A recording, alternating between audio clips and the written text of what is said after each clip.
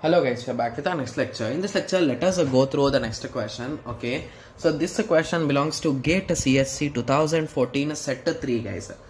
The question is let G be a group of 15 elements. Okay, let L be a subgroup of G. Okay, it is known that L is not equal to G.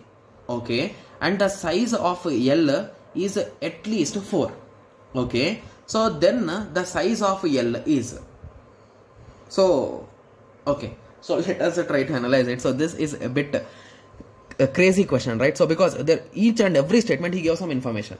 So they are saying that there is a group G guys.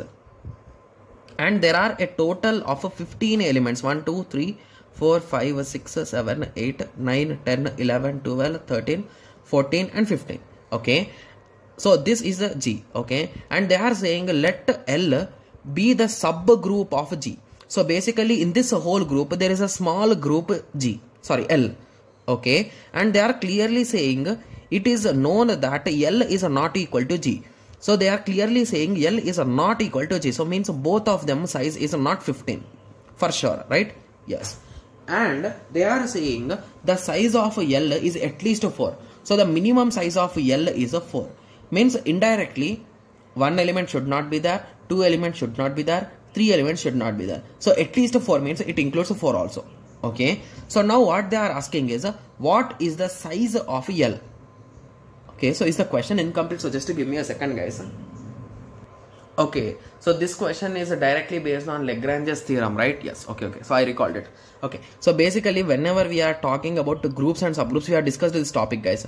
So whenever we are discussing about groups and subgroups the thing is if your group is having a 15 elements so if you want to select a subgroup from it which is also a group so basically this is a group right? Yes. So if you are selecting a group which is also a subgroup there are a few combinations guys. So what are the different different combinations to get a 15 so 1 into 15 and similarly 3 into 15 is there any other option? No. So in our question we, they clearly give that 15 is not possible. Hence you can strike off 15 similarly sorry 3 5s are right. Yes. And they clearly told that 1 is not possible. You can strike off that they clearly give 3 is not possible. You can strike off that. So we are indirectly left out with the 5 only. So hence a 5 will be the correct answer. Got it? Yes.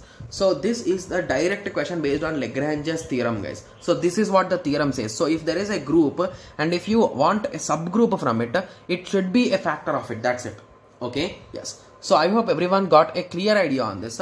So in the next lecture let us continue with the next question. Thank you. Thanks for watching like share and subscribe for more awesome videos like this. Thank you